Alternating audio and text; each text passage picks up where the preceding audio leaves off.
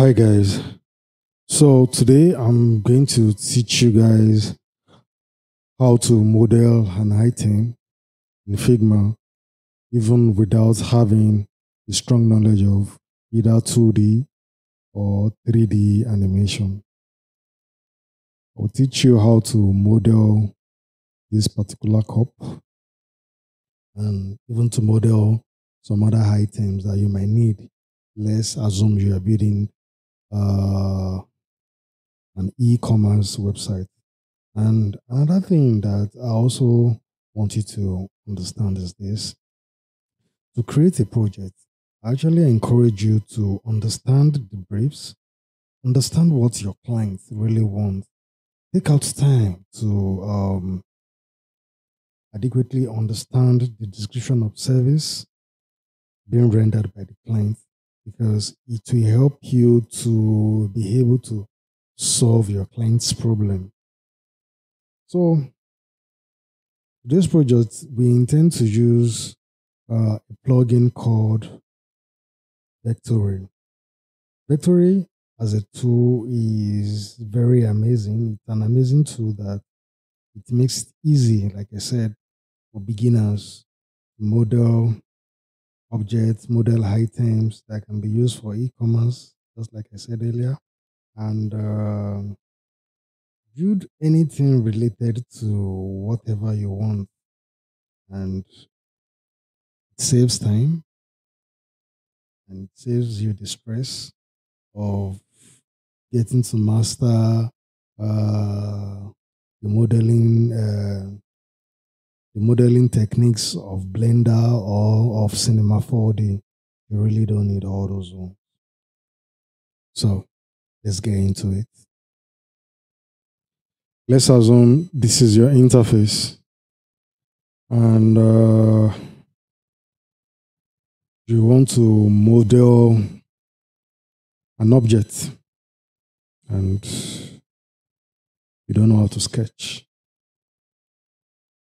Vectary has made it very easy for beginners and for people that have little or no knowledge of uh, the Blender application or modeling with Cinema 4D. Can easily do everything here in, here in Figma and still export it into Figma into your project without having to leave Figma at all.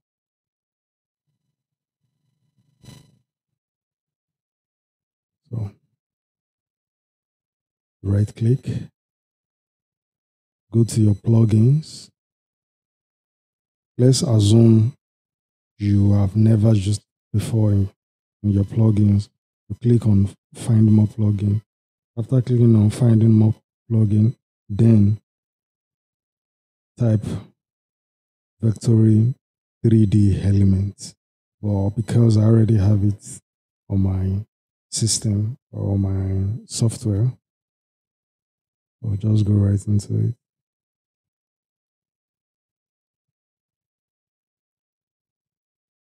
Yeah, so that's the layout. So Vectary has a lot of options, a lot of markups that you can easily choose from. So today, uh, which one should we choose? Okay. Let's choose the scope. Let's choose the cup. And don't forget that this is not a 2D item. It's actually in form of 3D. You can rotate it whichever angle that you want. You can zoom in, you can zoom out. You can even change the color. So to change the color, come to the environmental settings. Come to the uh, environment settings, I mean, and increase the intensity. And do this. Or you come to the studio, or you come to this option, either choose Studio Studio 2, Studio 1, Atom Crossing, and all those things. And choose different options. You can see but in this contest, I, I intend to use Studio 3. Yep. So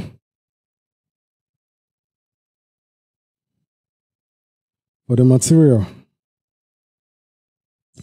uh, I think I'll leave the color at I'll leave the color at uh, color white. So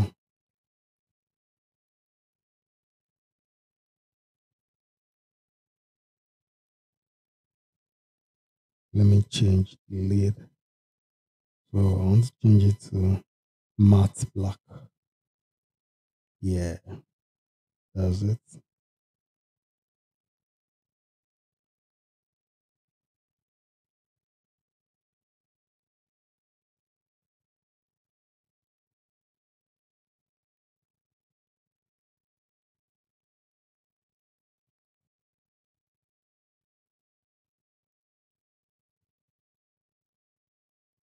So,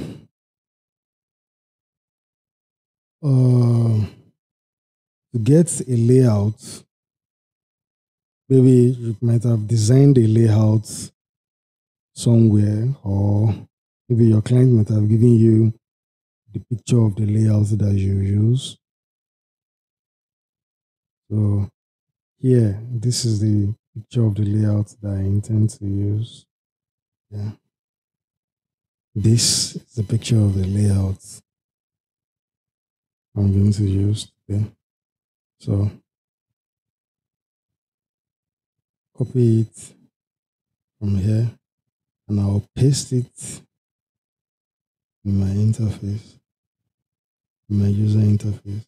So please take take time out to understand what I'm about to do now you can see that there's a layout configuration here already. So the layout configuration here is 2120 by 840. So the layout image that I posted on my user interface, I'll just go to the width, change it to 2120. And come to the height, change the height to 840. There you go. Mm-hmm.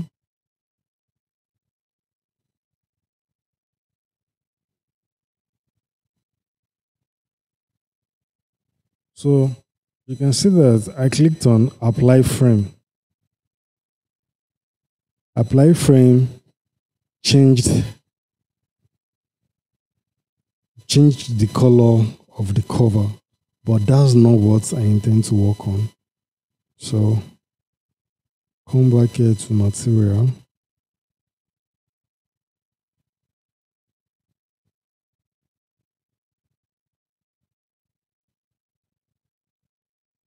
Come back here to material. Then I'll take it back to the layout.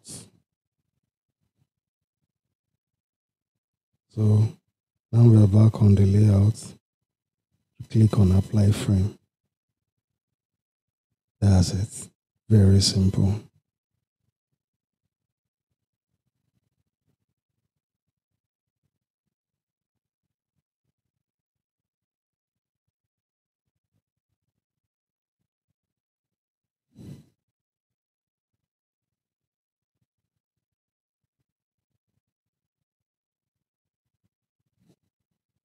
So, yeah, you can see. So, you can see the way I'm rotating it from side to side. So, I feel this side is looking okay. Yeah, this is perfectly okay. Then you click on finish.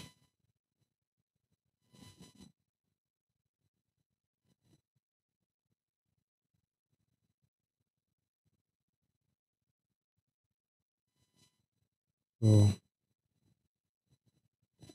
I'm reduce it, is the size so that it can fit into the project.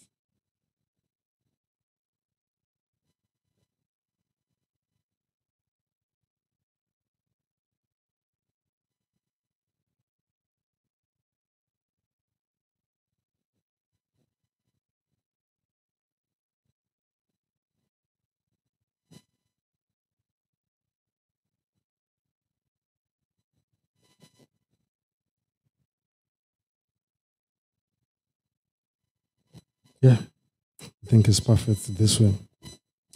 So, um,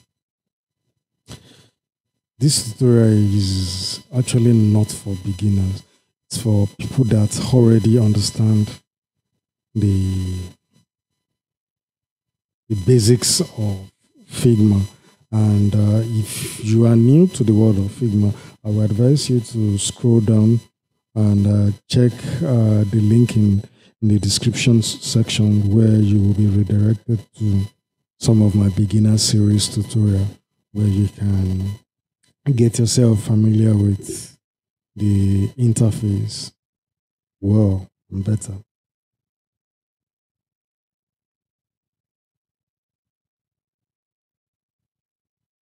And if you like what I've done so far, kindly click on the like, share, and subscribe button. See you in the next class. Thank you.